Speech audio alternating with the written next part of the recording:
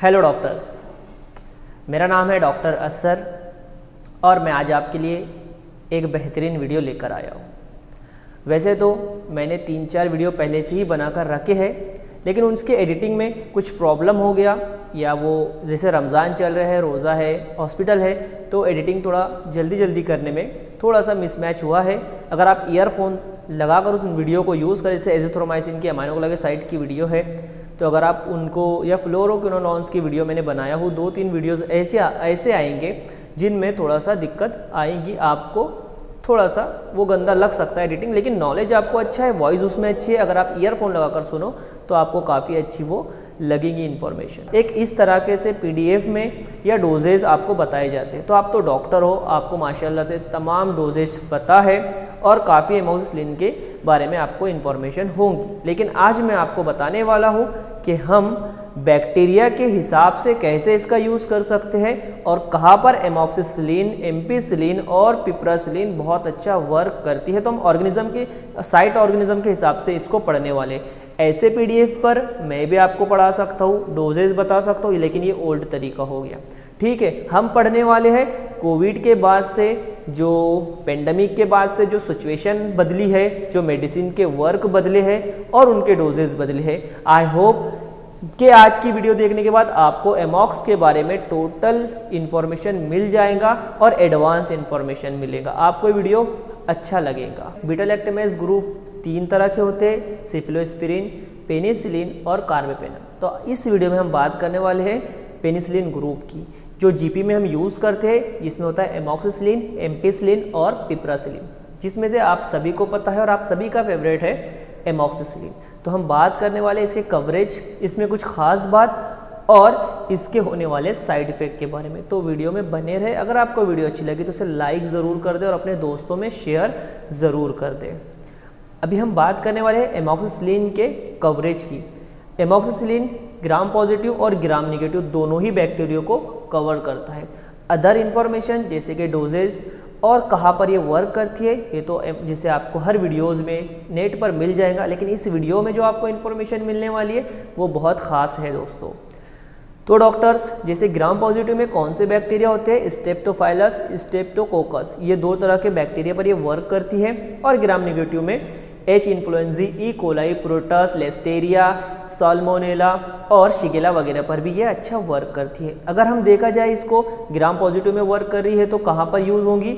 ये upper respiratory tract और साथ ही स्किन और सॉफ्ट टिश्यू इन्फेक्शन जैसे सेलुलाइटिस एप्सेस और डायबिटिक फ़ूड में भी इसका बहुत अच्छा यूज़ है, इसका बहुत अच्छा कवरेज है। अगर डॉक्टर्स आपको ये नहीं पता कि कौन सा बैक्टीरिया कहाँ पर वर्क करता है और उनके लिए कौन सी एंटीबायोटिक देनी चाहिए तो मैं उसके लिए भी आपको एक वीडियो लेकर आऊँगा जो बहुत ही इन्फॉर्मेटिव होंगी आपके लिए और आपको काफ़ी उससे नॉलेज और सीखने को मिलेगा। लेकिन उससे पहले अगर आप चैनल पर जुड़ते रहोगे वीडियो को ज़्यादा शेयर करोगे तो मुझे वीडियो बनाने में और ज़्यादा अच्छा लगेगा। अपर में तो करता है, साथ में ई e में भी कवरेज करता है थ्रोट वगैरह में भी कवरेज करता है। और अच्छा वर्क करता है। ग्राम निगेटिव्स की अगर बात की जाए तो ये जीआई और यूरिनरी ट्रैक इन्फेक्शन में भी इसका बहुत अच्छा कवरेज है। और डॉक्टर्स इसकी एक ख़ास बात आपको बता दूँ, अगर आप इसे डायबिटिक फ़ूड के लिए या आप इसे सेलुलाइटिस या स्किन सॉफ्ट टिश्यू इन्फेक्शन में यूज़ करें तो आपको इसे इन्फ्यूजन के ज़रिए यूज़ करना है, जिससे ये पूरी तरह से कॉन्सेंट्रेट हो और आपको बहुत अच्छे रिज़ल्ट इसके देखने को मिले। अगर इसकी एक ख़ास बात की बात की जाए तो जब भी आप किसी को एमॉक्स अपने पर्चे पर लिख रहे हो तो उससे एक बार ज़रूर पूछ ले, क्या उसे एमॉक्स से या किसी ड्रग से एलर्जी है या उसको कभी एनाफ्लाइटिक हुआ है। अगर ऐसा है तो आप उसको एमॉक्स लिखने से थोड़ा डरे, क्योंकि उसको इससे एलर्जी या ऐसी कंडीशन पैदा हो सकती है। अगर आप किसी को एमॉक्स दे रहे हैं और अगर वो आपके पास आता है एक दिन में कि उसे लूज मोशन लगे है तो वो क्लेबिनेट से लगे है। उसको लूज मोशन का प्रॉब्लम देखने में आ सकता है। अगर आप एमॉक्स यूज़ करते हो, किसी को प्रिस्क्राइब करते हो और किसी को सात से आठ दिन के बाद लूज मोशन लगते हैं, जिसमें म्यूकस और ब्लड होता है तो आप समझ ले कि आपकी एमॉक्स ने इसका काम ख़राब कर दिया। क्योंकि amoxicillin good bacteria bad bacteria के साथ गुड बैक्टीरिया को भी मार देता है, जिसकी वजह से वहीं पर एक बैक्टीरिया जो बहुत ज़्यादा जानलेवा हो सकता है आपका, वो ग्रो कर जाता है, जिसे सी एल कहते हैं।